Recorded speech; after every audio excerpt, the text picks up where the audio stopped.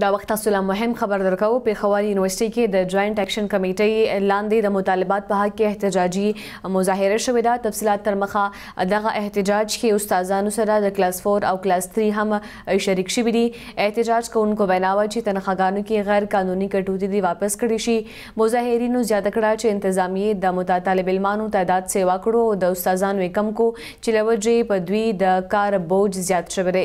دوی وویل چې دغه اضافي بوج دې ورته منظور نه دی. مظاهرین ویلي چې مطالباتو منظورېدو پورې به احتجاج جاري وي.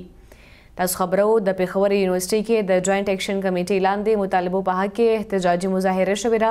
تفصیلاتو ترمخه دغه احتجاج کې استادانو سره کلاس فور او کلاس تري هم شریک شوي دي.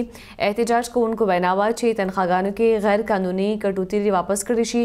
مظاهرینو زیاته کړه چې انتظامیې د طالب علمانو تعداد سیوا کړی او استادانو یې کم کړو چې له وجې یې په دوی د کار بوج زیات شوی دی. دوی ویل چې دغه اضافي بوج ورته منظور نه دی. مظاهرین وایي چې مطالبو منظوریدو پورې به احتجاج جاري وي. احتجاج له وجې په یونیورسټۍ کې د درس و تدریس عمل معطل شوی دی.